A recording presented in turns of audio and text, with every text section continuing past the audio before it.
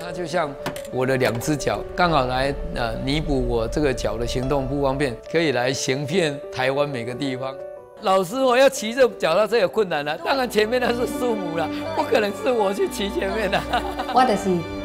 泰国人，我先生搞好命工李干牙，